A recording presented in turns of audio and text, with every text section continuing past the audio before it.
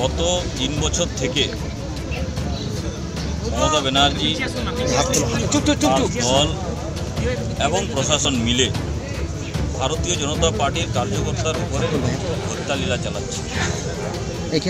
প্রায় আশি থেকে পঁচাশি জন ভারতীয় জনতা পার্টির কার্যকর্তাকে হত্যা করা হয়েছে। তাদের অপরাধ এইটুকুই তারা ভারতীয় জনতা পার্টিকে ভালোবেসে ভারতীয় জনতা পার্টির কাজ করেছে। সেই কাজ করার অপরাধেই তাদেরকে হত্যা করা হয়েছে। এবং আমরা দেখব সাতাশ তারিখে কালী পুজোর দিনে সকালবেলা প্রাতঃভ্রমণে বেরিয়েছিল আমাদের দুজন কার্যকর্তা। তাদেরকে কুপিয়ে খুন করার চেষ্টা করা হয়েছে। তার মধ্যে একজন, একজনকে খুন করা হয়েছে, হত্যা হয়ে গেছে একজনের, একজন এইভাবে যদি চলতে থাকে, তাহলে মানুষ ছেড়ে কথা বলবে না। ভারতীয় জনতা পার্টি ছেড়ে কথা বলবে না।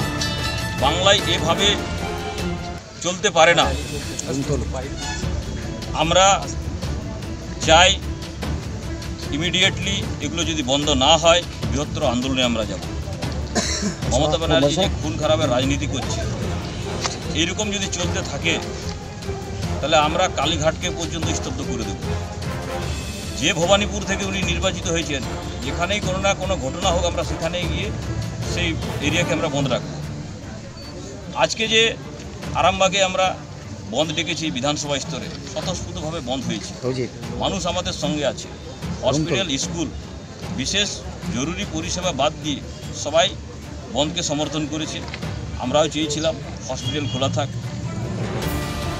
ওষুধ দোকান খোলা থাক স্কুল খোলা থাক কারণ এগুলো বন্ধ করা যায় না। বাকি স্বতঃস্ফূর্তভাবে বন্ধ হয়েছে। পুলিশের ভূমিকা নিয়ে কি পুলিশের ভূমিকা তো একদম তৃণমূলের ক্যাডারের মতো আছে। পুলিশের দ্বারা এখানে আস্থা, ভরসা মানুষের উঠে গেছে। পুলিশ যদি নিষ্পক্ষ থাকতো, তাহলে এই হত্যাই হতো না। পুলিশের দ্বারা পুরোপুরি নিয়ন্ত্রিত হচ্ছে গুন্ডারা। আগামী দিনে এগুলো যদি না বন্ধ হয়, তাহলে যে যে পুলিশ অফিসার এগুলোর সঙ্গে জড়িত থাকছে, কারণ এক দেড় বছর করে আমাদের গভর্নমেন্ট আসছে, তারা ভাবনা চিন্তা করে রাখেন যেন। পুরো হান্ড্রেড পার্সেন্ট সবাই নয়, কিন্তু কিছুজন আছে জড়িত, যারা নিয়মিত করাচ্ছে। এই যে হত্যা হয়েছে এখনও দোষীদেরকে আড়াল করার চেষ্টা করা হচ্ছে। আমরা চাইব উপযুক্ত শাস্তি হোক। আইন আইনের পথে হাঁটবে। আইনটা যেন আইনের পথে চলে সেটার জন্য সেটা পালন করার জন্য পুলিশকে আমি বলছি।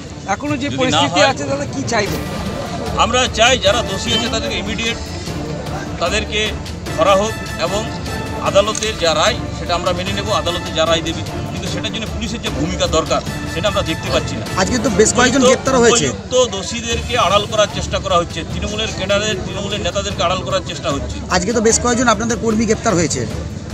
এটা নিয়মিত এরা চালাবে এরা অতীতেও চালিয়েছে। কিন্তু মানুষ এটা মেনে নেবে না। কারণ মানুষ যায় ভারতীয় জনতা পার্টির সরকার এখানে আসুক আর সেটা তৃণমূল কংগ্রেস মমতা ব্যানার্জি সেটা মেনে নিতে কিছুতেই পাচ্ছেন না। পায়ের তলে মাটি সরে গেছে তাদের। আর কোনো উপায় নেই। এক বছর পরে আপনারা দেখতে পারবেন এক দেড় বছরের মধ্যেই যে নির্বাচন আসবে সেই নির্বাচনে প্রায় দুশো প্লাস আমরা সিট নিয়ে এখানে আমরা বাংলা শাসন চালাবো। আজকে তো আপনাদের একটি বাইক মিছিল সকালের দিকে হচ্ছিল তখন পুলিশ কয়েকজনকে একজনকে মারধরও করেছে।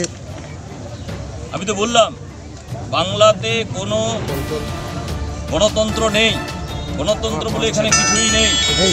এখানে শুধুমাত্র ঔরঙ্গজেবের যে শাসন ব্যবস্থা ছিল বন্ধ কর না।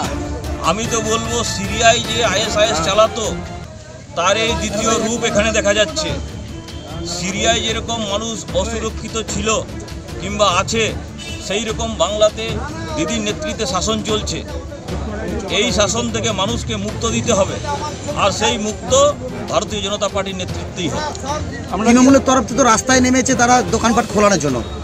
দেখুন আপনারা হয়তো দেখেছেন রাস্তায় কোথায় নেমেছে আর কতগুলো দোকান খুলেছে। আমিও তো ঘুরলাম আমরাও সবাই ঘুরলাম। কোনো দোকানপাট খোলা নেই। মানুষ স্বতঃস্ফূর্তভাবে বন্ধ করেছে আমরা তো মৌন মিছিল করেছি। জোর জবস্তিও করেনি। নিজের ইচ্ছায় সবাই আমাদেরকে সহযোগিতা করেছে এবং বন্ধ করেছেন। আগামী দিনের কর্মসূচি এইরকম যদি চলতে থাকে তাহলে বৃহৎ আন্দোলনের আমরা ডাক দেব। রাজ্য নেতৃত্ব কেন্দ্রীয় নেতৃত্বের সঙ্গে আলোচনা করে বৃহৎ আন্দোলনের ডাক দেবো।